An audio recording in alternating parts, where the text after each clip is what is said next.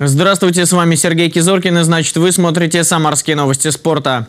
Мастера хоккея ЦСКА ВВС сыграют шоу-матч с болельщиками. Студенты определили лучшего пловца Самары на областной универсиаде. Самарчанка взяла бронзу на турнире сильнейших по современному пятиборью.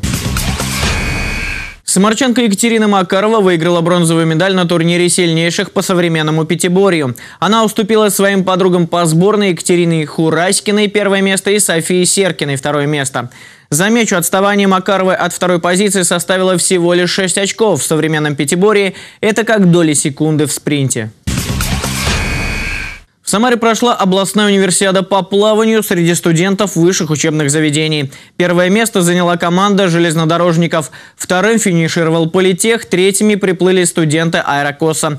По итогам соревнований чемпионы отправились покорять водные дорожки чемпионата страны. Это Семен Макович, Андрей Тамбовский, Алексей Петров, Александр Клюкин и Наталья Ловцова.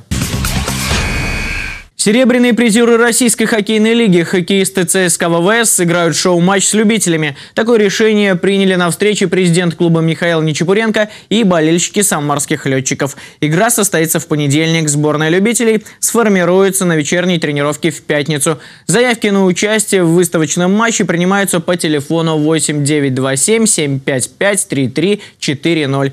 Еще можете успеть сыграть с профессионалами. Это были новости спорта от Сергея Кизоркина. Будьте здоровы и занимайтесь физкультурой.